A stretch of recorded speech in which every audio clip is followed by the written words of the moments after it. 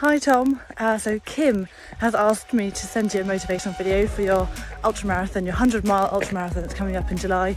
Um, apparently you've been recovering from injury, uh, which I know can be pretty tough. I'm currently out training myself uh, with my lovely little dog, um, and I've also got an ultra marathon later in the year. But um, yeah, it can be really tough uh, to to train after an injury, and and I think we put a lot of pressure on ourselves to do so well. But the thing with the beauty of ultra marathons, I'm not sure if you've done them before is that it really isn't about how fast you do it, it is about the distance, which is lovely, and it's why ultra marathons are so inclusive.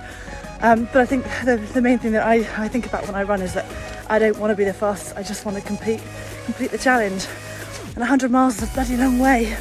No, that's 160 kilometres.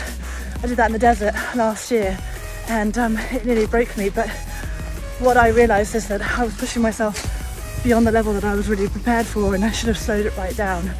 And actually there was a chap doing it um, behind me who was making the cut-offs by two minutes every time.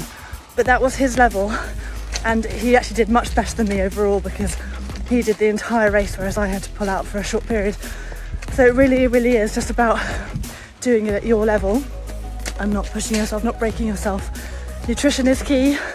One lesson I learned, I tried to live off jelly and uh, cereal bars when I did it, which is not not the answer. Um, so yeah, plan your nutrition. Lots of carbohydrates in the those carbohydrate drinks if you can get them, um, and uh, yeah, walk the uphills.